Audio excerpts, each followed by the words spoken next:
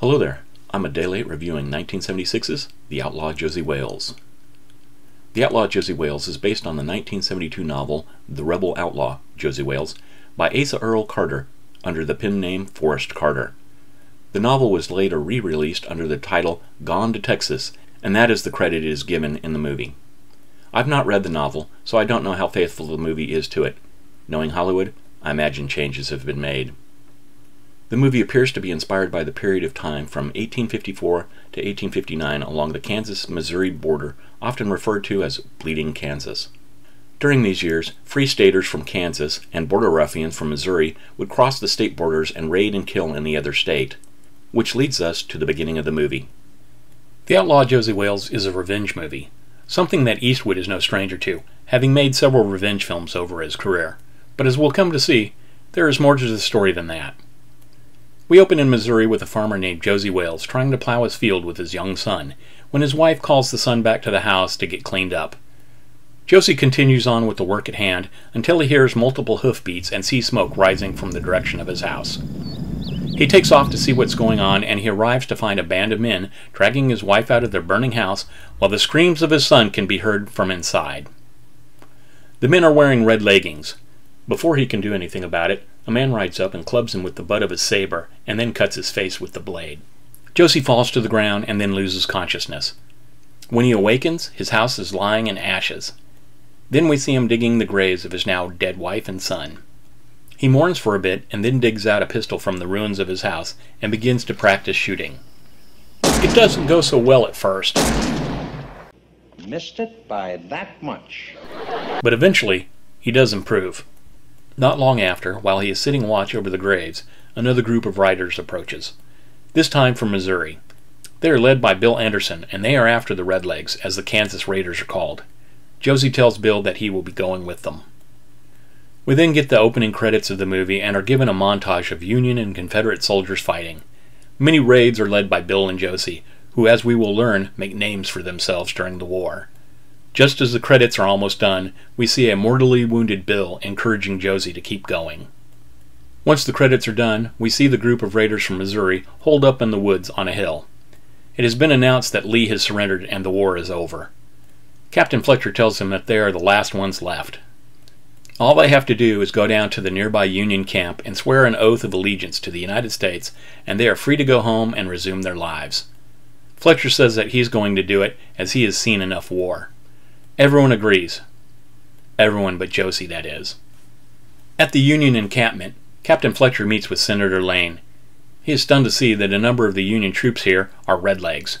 He had been promised that regular troops would be accepting the surrender. As it turns out, Senator Lane isn't interested in their surrender. As far as he's concerned, the Confederates are traitor and all need to be shot.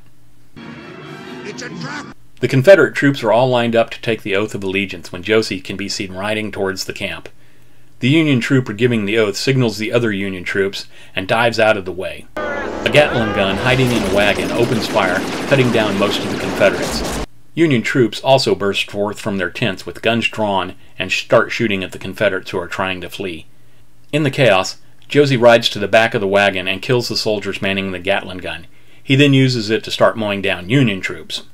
A young Confederate named Jamie manages to get onto a horse, and he tells Fletcher to make a break for it when he is shot in the back by a redleg named Terrell. Jamie rides off toward Josey and tells him to make a break for it. Josey sees that the kid is wounded and decides to help him to safety. Senator Lane tells Fletcher that he wants him to hunt down and kill Wales for this mess. Fletcher says that he hasn't left him much choice thanks to the massacre that the senator has orchestrated here today. In the hills, Josey and the kid are riding along, and Josey says that they will head for the Indian nations to hide out and give the kid some time to heal. They get some supplies at a wilderness store, and Josey is applying a poultice to the kid's wound when he hears something. He starts to reach for his gun when a bounty hunter sticks a rifle in his face. A second one jumps out of the bush, rifle also pointed at Josey. They get him to drop his gun belt when the kid starts singing. The bounty hunters tell him to shut up, and the kid pretends to think that one of them is his father. The kid says that he has the gold that he and Josey robbed from the bank. The leader of the bounty hunters has his partner go over to the kid to get the gold when the kid pulls his pistol from under the blanket and shoots the nearest bounty hunter. Josey pulls a pistol from a shoulder holster and he shoots the leader, and then they are back on the road. But before they go, the kid bemoans the fact they don't have a time for a proper burial, and Josey replies, Hell with them fellas. Buzzards gotta eat, same as worms. Later, it's raining, so Josey sets up a small shelter for the kid while he scouts the area for Union troops. When he gets back, the kid is dead. He puts the kid's body on his horse and has it race through the nearby Union camp, causing a diversion so that he can continue on his way. A bit later, we see an old Indian man named Lone Watie come out of a cabin in the woods. He starts walking through the woods hunting when he sees Josey's horse come charging through a clearing.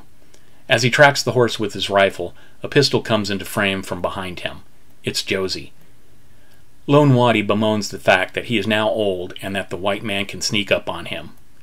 He rambles on about the troubles of the Indian people that have become civilized and were screwed over by the white man while Josey makes his way over to the cabin and then takes a nap on the porch. Cut to the Redlegs contingent digging grave for the kid. Fletcher rides up, and Terrell says the kid was killed trying to sneak through the camp. There's no way that Wales could have made it through into the Indian nations. Fletcher laughs and heads towards the nations. Seeing this, Terrell tells his men that they are heading into the nations as well, and he puts a $5,000 bounty on Wales. Josey wakes up to find Lone Watie waiting for him. Lone Watie thinks that they should head to Mexico. Josey, on the other hand, is looking forward to going back to Missouri for some unfinished business. Lone Watie tells Josey that he has heard that General Shelby and some troops have gone down to Mexico way, and he is looking to join up with them. This piques Josey's interest. As for Watie, he was planning on going to a nearby trading post to get a horse for the journey. Josey tells him that he will go down to the post and get the horse for him. We cut to the trading post where we see a somewhat skeevy looking trader dealing with two rough looking trappers. The trappers decide to help themselves to an Indian girl that is working for the trader when Josey shows up. He asks the trader if he has any horses for sale. The trader says that the horses are the trappers. He sees them with the Indian girl and asks the trader if he thinks that they will be long. One of the trapper gets up to get something from the trader when he pulls his pistol and points it at Josey. He recognizes Josey and alerts his partner that they have five grand standing before them. The other trapper gets off the Indian girl and points his gun at Josey. Now it's game on. Game on! Game on! The first trapper tells Josey to slowly pull his guns out, but first to give them to his partner. Josey complies, and we see this.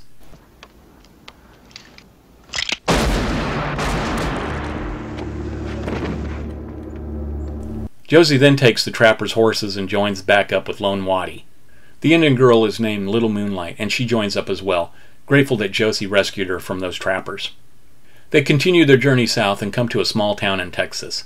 It's here that we meet Grandma Sarah and Laura Lee.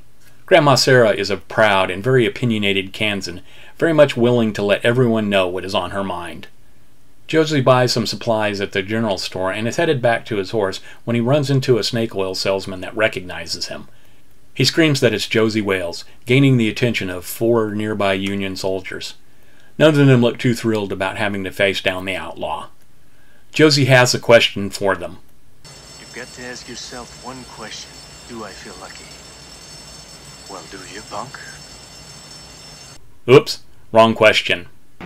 Why, you're gonna pull those pistols and whistle Dixie. Josey kills three of them, and Lone Watie, who was nearby, kills the fourth. They then jump on their horses and head out of town. There are more Union soldiers in town, and they gather up to give chase, but the Indian girl blocks their path. Josey and Lone Watie make their way out into the desert when they see that someone is following them. It turns out it's Little Moonlight. They make their way into Comanche territory and come across some wagon tracks. Little Moonlight thinks it's the Comancheros. They are bad news thugs that trade guns, liquor, and women with the Comanche. They see some smoke up ahead and decide to get to higher ground for a better look. It is Comancheros, and they have ambushed the Kansans that were immigrating to Texas. The men have been killed, and the Comancheros are looting the wagons when they discover Laura Lee. Now we get to find out what happens to young pretty women when the only men around are brutes who take what they want. I like rape. Josey is about to intervene when the Comanchero leader shows up and pulls his men off of Laura Lee. A fresh, unsullied girl will bring better bounty with the Indians. While this is going on, Lone Watie has moved to a better vantage point, but he slips and tumbles down the hill. Not only that, he causes a rock to tumble down towards the Comancheros, alerting them to his presence. Several of the Comancheros ride around the hill and find him at the bottom on the other side. They then take him prisoner along with the surviving Kansans and head towards the camp of the local Comanche chief named Ten Bears. A bit later, the Comancheros see a lone figure on horseback up ahead of them. It's Josey, and he is flying a white flag on his rifle. He wants to parley. Parley. Down to the depths whatever mutton they thought of parley. Four Comancheros ride up to see what Josey wants. Josey sizes them up, and then it's game on. Game on! Game on! Once Josey kills the Comancheros, the always friendly and grateful Grandma Sarah expresses her gratitude. Us, I suppose. In the hills above them, they see several Comanche braves and decide to get a move on before things get hairy. Later, the group stops to get some rest and eat. Grandma Sarah relates that they were heading to her son Tom's ranch near the town of Santa Rio. It's supposed to be wonderful with a creek and nice pastures for cattle, lots of trees, a genuine paradise. They eventually make their way to Santa Rio and discover it's a dead town. Going into the saloon, Josey finds the last remaining members of the town. The town was founded near a silver mine, and when the silver ran out, everybody else left. Josey brings in some whiskey he liberated from the Comancheros, and the locals are thrilled. Excellent! The rest of the group comes into the saloon and meets the locals, two of whom, Travis and Chato, used to work on Tom's ranch. Not only that, but Grandma Sarah gets to meet, let's say, Tom's lady friend. It's here that we learn Grandma Sarah's son died in the war and served as a red leg. The two workers for Tom offer to work for Grandma Sarah, and everyone sits down for a drink. Through a window, Josey notices two bounty hunters walk up to the building across the street. One of them walks into the saloon and announces that he is looking for Josey Wales. Josey cops to it and asks the man if he's a bounty hunter. The man says that he has to do something for a living. Then we get another great line. Dying ain't much of a living, boy. Josey gives the man the option to leave, and the man takes it. But only briefly. It's a mistake that proves fatal. The bounty hunter's partner outside then flees. The wagon train then continues out to Tom's ranch at Blood Butte. It is indeed quite nice. Granny's in a hurry to get everything up and running again. She tells everyone that this is their place too, if they aren't afraid of work. The next day we get a montage of work around the ranch until Lone Watie and Travis and Chato have some cattle and are going to head into Santa Rio for a bit. Later, while Granny Sarah, Laura Lee, and Josey are gathered saying a prayer of thanks, Josey sees an injured Lone Watie returning on his horse. Travis and Chato have been captured by the Comanche, and Lone Watie says that Ten Bears is coming for the rest of them in the morning. Cut to that night. Josey explains to those left how to use the shuttered window gun ports. Explains that they need to keep a fire going in the chimney. He gives them a plan of action for when the Comanche arrive. The next morning, Granny sees Josey packing up and getting on his horse and asks Lone Watie what is he doing. Lone Watie explains that Josey is a guerrilla fighter and is going out to meet the Comanche on his terms. Josey rides out to the Comanche camp and he meets with Ten Bears. The two talk and Ten Bears is impressed with Josey's honesty and bravery and then decides to live in peace with the ranchers of Blood Butte. Josey in return says that when the Comanche moves through the area when the seasons change, they are welcome to some of the cattle from the ranch, and they will put a brand on the lodge showing that they are friendly with the Comanche. Ten Bear then releases Travis and Chato, and they return with Josey to the ranch. Once back at the ranch, they have a celebration. Meanwhile, in Santa Rio, Captain Fletcher and Terrell's Redlegs ride into town.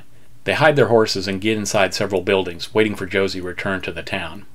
Back at the camp that night, Josey and Laura Lee get to know one another, and it leads to a little sexy time.